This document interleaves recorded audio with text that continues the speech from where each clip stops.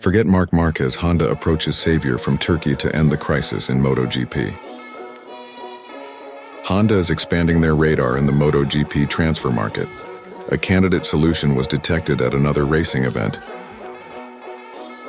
If Marquez can still compete at the front and even win the podium at all costs, the Honda motorbike racers this season will be helpless. The great influence of the former spearhead, Marc Marquez, and was true when the manufacturer from Osaka, Japan, became increasingly unskilled after his Acosta. death, said Marquez in response to AS.com's question Honda is still looking for a way out of the crisis they have experienced most. in the last three years, and Marquez MotoGP. believes Acosta has a lot of potential in the future. Even their top Everyone racer in the standings and they are going fast. Joan Mir, Repsol Honda. He, Acosta, saw himself as only finished in the top 10 but once. Pedro Acosta came and did something different. Currently, last weekend, Raz still lacked experience also set an important record as the first BMW racer to top the standings since 2012. This could mark several years in MotoGP. One unexpected Marquez name even surfaced. It's very rare for a rookie to be able to shine that Honda is interested in recruiting the champion from the neighboring 2013 then there was Fabio Quartararo in 2019 and now Acosta in 2024. Apart from making improvements to the motorbike development path, ex-MotoGP racer reveals why Pedro Acosta had no difficulty adapting no to his debut season, namely racers.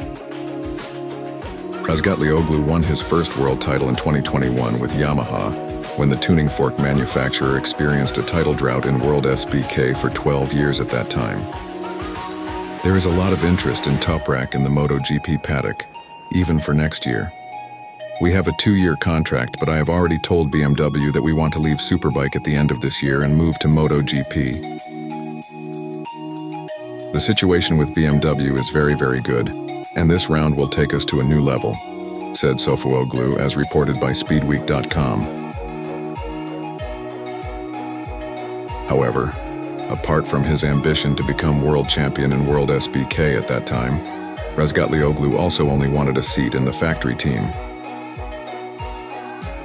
Razgatlioglu is actually close to joining MotoGP as one of the replacement candidates for Valentino Rossi, who is retiring in 2021.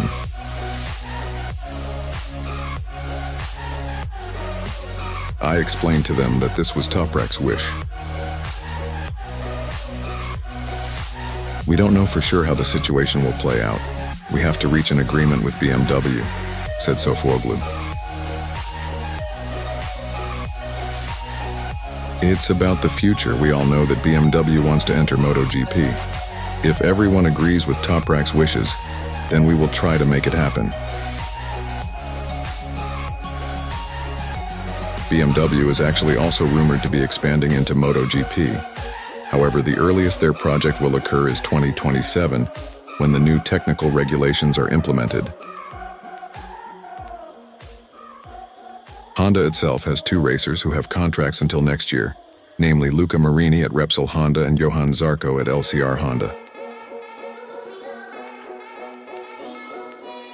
Meanwhile, it is reported that Joan Mir will extend his tenure at Repsol Honda for the next two seasons.